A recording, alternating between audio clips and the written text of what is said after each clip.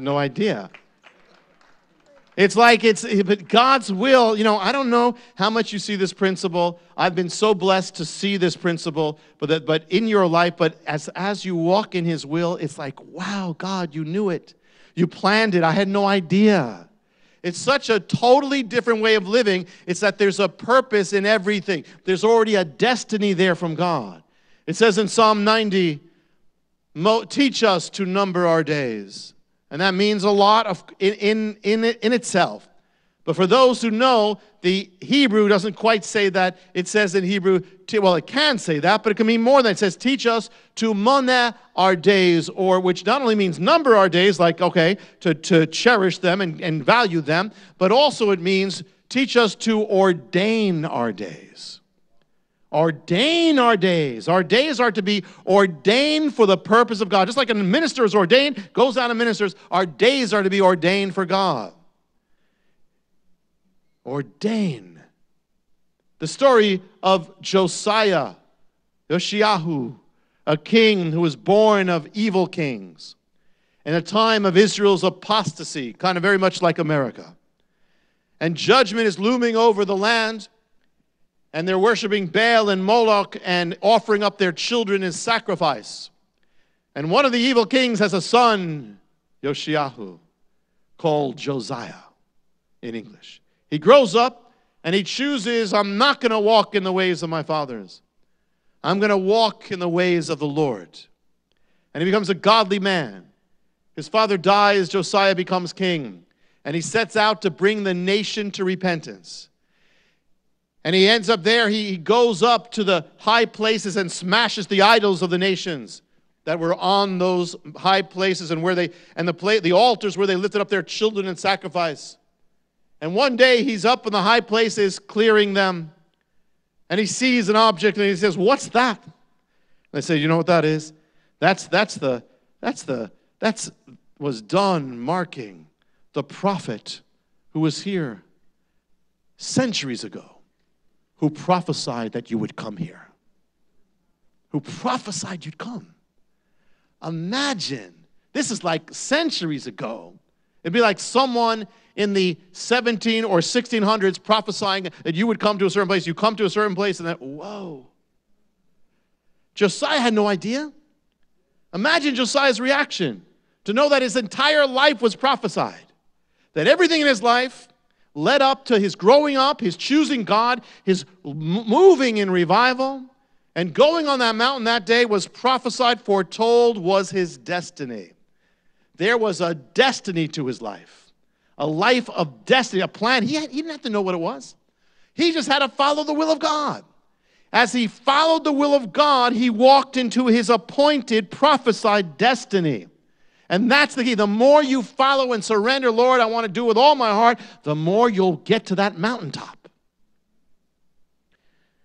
And that's not just, it's not just a story. This is real. This is reality. When we were in Cuba, we were, I was led to give a message of the Jubilee. And you know, it's freedom and and restoration and reconciliation and all that the Jubilee is, which was actually a dangerous message at the time. Because I'm preaching and my, and my translator, I'm saying, and, and God says freedom. And my, my translator saying, I got to come up with a word that's not going to get me arrested. And I said, you know, it's like a revolution from God. He's like, and there are people like at every service who are secret police.